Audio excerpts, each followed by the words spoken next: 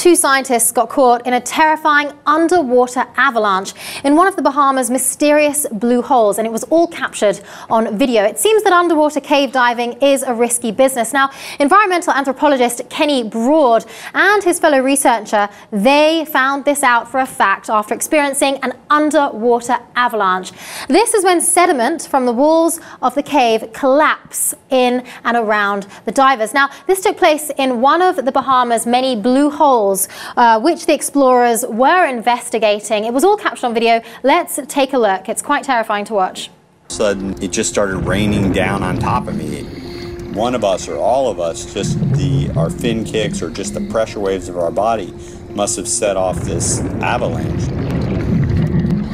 It's amazing uh, just just to see. First of all, you can you can make out in these pictures just how narrow the gap is that they are, are swimming through, are diving through. The camera footage is quite unbelievable. Mm -hmm. Obviously, some very high-tech equipment there that was able to capture such an extraordinary event. These blue holes are really uncharted, unexplored territory. Uh, Nat Geo is, is currently doing a series investigating them, some terrifying things, these divers putting themselves at risk.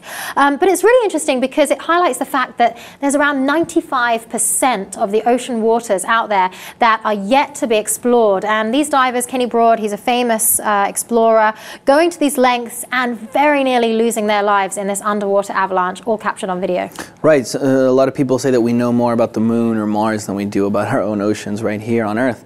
Um, God, I, I, don't know how they do it. I feel claustrophobic just looking at these pictures. I, am like kind of freaking out. Looking at these tiny little crevasses that they're squeezing with all that equipment, it, it really freaks me out. It's crazy. But um, uh, the best that we have right now are those tiny little submarines that we see going down to places, or at least trying to get down to the bottom of the Mariana Trench in these deep places where we do not know what the hell's going on. We don't even know what kind of creatures are down there either. It's fascinating.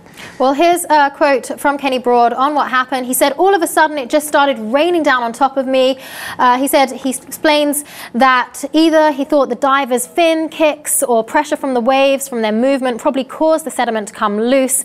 But he went on to say that it's only when you get to the surface and you see your dive buddies next to you, you realize just how intense of an experience you just went through. Um, it's, it's just a really incredible thing. And these blue holes, they're really unexplored. So they're going down and they're trying to take um, little chips of the sediment. They're trying to do research on the samples. But there's always obviously these risks of unexpected complications and underwater avalanches. So we think this footage is quite remarkable, especially the fact that they captured this. Thank goodness these people are still alive. Uh, we'd love to know what you think of this. Please subscribe to our channel to get more stories like this.